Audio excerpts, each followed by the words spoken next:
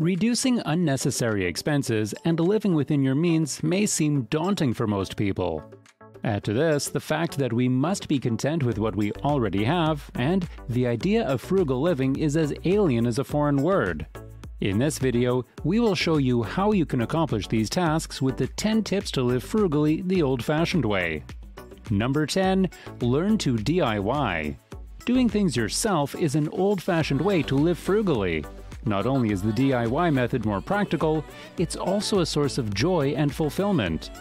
Although this advice might sound daunting, you can master it by starting with simple DIY projects. For instance, replacing your leaky kitchen faucet should be a cinch if you have the right tools and follow the correct steps. You'll save tens of dollars by not hiring a plumber. Our forebears only hired professionals for things they couldn't do themselves or the law required them to. They built fences, fixed leaky roofs, created homemade water delivery systems, and other stuff modern people might consider only MacGyver can do. You can always leave more complicated tasks to the pros. For everything else, you can always follow how-to videos to accomplish a DIY project and save money. Number 9. Master the art of substitutions. Have you ever wondered how grandma makes a sumptuous stew or a heartwarming soup without recipes? You won't hear her mention precise ingredient measurements. For example, her pinch of salt might be different from your version of a pinch. More importantly, the art of living an old-fashioned frugal lifestyle lies in mastering substitutions. Nothing can be more wasteful than sticking to a recipe with an unavailable ingredient. You'll most likely put off the cooking and run straight to the grocery. Unfortunately, you're at an increased risk of buying something you shouldn't. So, what does Granny do? She substitutes readily available ingredients for missing ones. For example, baking powder, self-rising flour, and potassium bicarbonate with a pinch of salt are excellent substitutes for baking soda. Do you need beer for your fish batter? Chicken broth can be an excellent substitute. How about breadcrumbs? You can try ground oats or cracker crumbs instead. You must learn to use whatever ingredient is on hand if you want to live frugally the old-fashioned way. Number 8. Load up on water, not soda.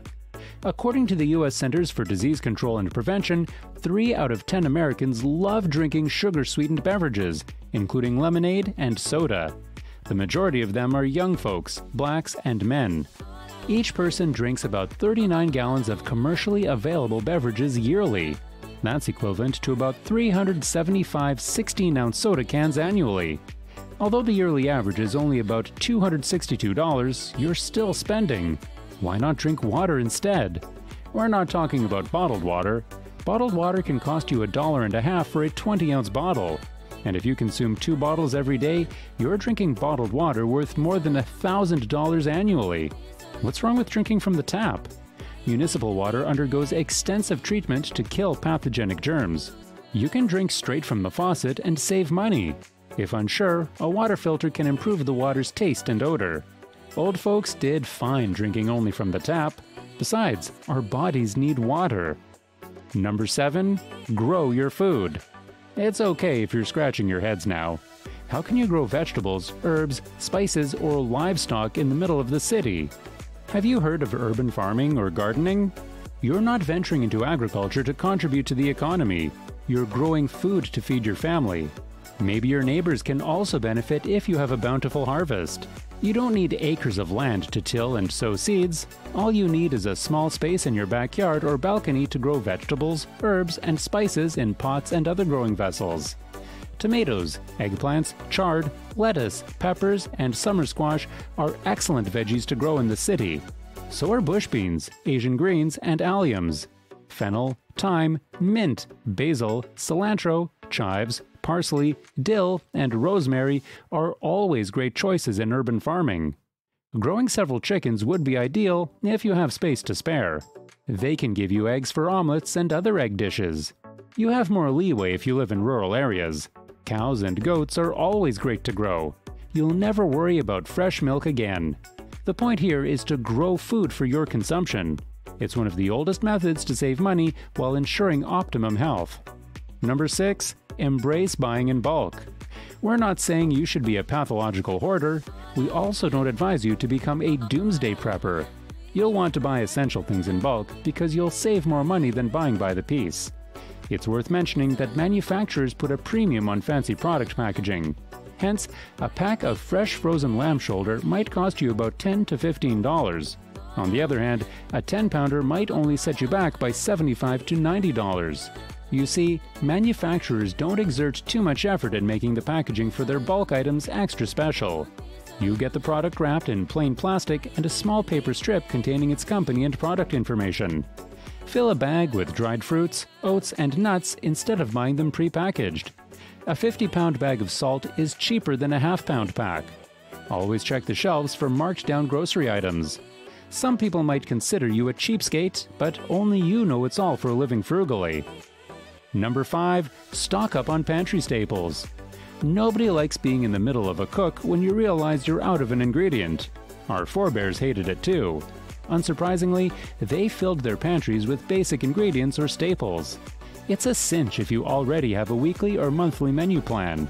It should allow you to determine the ingredients common across your recipes. If not, you can always list the ingredients you always use every time you cook. For example, salt and pepper are a must. Some folks cannot live without sugar, flour, baking soda, and baking powder. Others must have rice, potatoes, pasta, and other starches in their pantries. Whatever ingredient you choose to stock up on, we recommend buying them in bulk. It will be wise to schedule your grocery when the grocery is offering items at a discount. Always check your pantry items for their expiration dates. Organize the pantry staples with near expiry or short shelf life items near the door. Go for dry foods and canned goods because they have a longer shelf life than fresh ones. This old fashioned frugal living advice isn't only easy to accomplish, you can make it an integral component of your modern day life. Number 4. Eat leftovers. More than 820 million people go hungry yearly. Unfortunately, some people don't seem to care. They don't mind throwing leftovers into the garbage. The United Nations Food and Agriculture Organization says we waste more than 2.6 trillion US dollars worth of leftover food annually. It's not only the social implications of this wasteful human behavior that are alarming. Leftover food also has a significant environmental impact amounting to 700 billion US dollars yearly. Our forefathers didn't waste anything. Money is scarce, and the last thing in their minds is to throw away something they can still use and enjoy. You don't have to serve the same leftover dish. You can create a different dish using the ingredients in the leftover food. Fish heads and bones can make for an excellent fish soup base, especially if you add homegrown vegetables, herbs, and spices. The Thanksgiving turkey can become a source of filling for empanadas, sandwiches, and salads. Day old rice can be magical when cooked into a Chinese chow fan with leftover beef, chicken, vegetables, and other food. Sliced bread can become a delightful mini pizza topped with fresh tomato slices, onion, and shredded leftover meatballs or grilled chicken. Ensure to store leftover food in appropriate containers and date them if you intend to use them after several days. It's all a part of living frugally the old fashioned way. Number 3. Cook from scratch. Modern living is all about convenience. Other people process and prepare the ingredients for you, ready to hit the wok. Although we cannot argue the merits of convenient processed food, we can't deny they're expensive. For example, a 12 ounce jar of organic carrot puree can cost about $15. On the other hand, a pound of fresh from the farm carrot will only cost you 50 cents. Let's say you're going to puree the carrot yourself. You'll be spending about a dollar or two for electricity and water. Your homemade carrot puree will still be more practical than buying the processed version. Of course, you'll say manufacturers adhere to high quality standards. You can observe the same thing and will never worry about feeding your baby unsanitary carrot puree. Cooking from scratch is not only economical, you also have better control of the ingredients you use. It's also easier to ensure food safety if you're particular about it.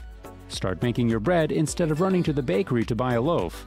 After all, you only need flour, water, and a bit of yeast, salt, oil, and sugar. Craving for a pizza? You can make one from scratch and use leftovers as toppings. It might seem tedious at first, but you'll master it. The savings you get will motivate you to continue living frugally the old fashioned way. Number 2. Plan and prepare simple meals. Some of us dislike meal planning and preparation. After all, we're all tired from work and other modern day responsibilities. However, planning your family's weekly meals doesn't take hours. The key is to keep your menu plan simple. Consider the staple and other ingredients in the pantry, including what's growing in the backyard. Not to mention costly items too. Meal planning saves you money. You eliminate last minute fast food runs. You'll see the things you must include in your next grocery, cutting down trips to and from the store. And when you're doing your grocery, stick to your list. Ditch the recipes you watch on YouTube or TikTok because these often have so many ingredients. If you cannot stay away from recipes, Pick those with simple ingredients and cooking procedures. Old fashioned living is all about cooking with what we have. Limit your ingredients per dish to five, excluding salt and pepper. After all, these two condiments are indispensable in everyday cooking. Use the vegetables in your garden to make a delicious salad. Aim for a 3 ingredient mac and cheese or a 5 ingredient spaghetti with marinara sauce to perk up your family's appetite. It's one of the best ways to live frugally, the old fashioned way. Number 1. Simplify family entertainment. It's worth remembering that old fashioned living is all about self sufficiency and self reliance. And one of the best ways to live frugally is by ditching mass designed entertainment for good old family fun. For example, why not create a whole day of backyard fun and games instead of spending hundreds of dollars in Disneyland? There are many activities you can do at home to create wonderful memories and strengthen family bonds. Play cards, board games, darts, or marbles. Gather your neighbors and play a friendly game of baseball or soccer at the park. Do you have musically inclined family members? Why not organize a mini backyard concert for everyone to enjoy? Take turns sharing wild and outrageous stories. Enjoy a picnic while dad whips out a delicious barbecue for everyone. A pool party is better than doing a belly flop in a water wonderland. Why not turn your lawn or backyard into a campground and complete with camping amenities for kids and grown-ups? Turn on your garden sprinklers and let your kids and neighborhood children have all the fun in the summer. The whole point here is to move away from wanting to be entertained. The goal of old fashioned living is entertaining ourselves, and you don't need wealth to do that. You only need a bit of imagination and creativity to live frugally the old fashioned way. If you want more content like this, be sure to check out this next video which you can click right here. Finally, don't forget to hit the subscribe button and ring the notification bell to stay updated with our latest content.